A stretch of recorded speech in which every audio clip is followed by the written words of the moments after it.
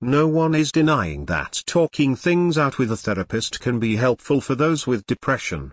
But, like antidepressants, psychotherapy's usefulness may be overstated, researchers say, per the New York Times, by as much as 25%, finds a study in PLOS One.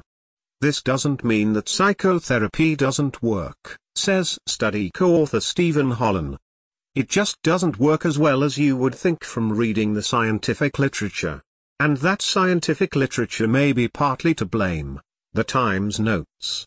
Due to publication bias, studies that have more positive outcomes are more likely to end up published.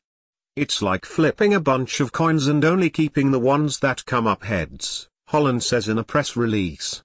Researchers tracked down all NIH grants awarded from 1972 to 2008 for studies examining talk therapy such as interpersonal and cognitive behavior therapies, to treat depression.